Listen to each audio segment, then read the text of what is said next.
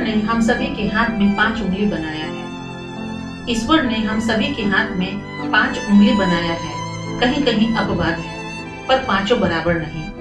वैसे ही इस पृथ्वी पर जितने भी लोग हैं, सभी के विचारधाराएँ एक समान नहीं कभी कभी अपने विचार सोच से विपरीत बातें सुनकर, पढ़कर हमें आक्रोश आता है।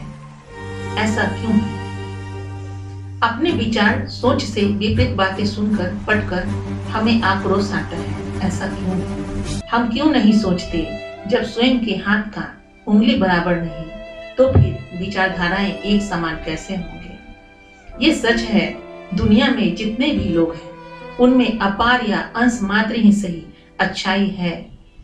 ये सच है, दुनिया में जितने भी लोग हैं, उनमें अपार या अंश मात्र ही सही, अच्छाई है।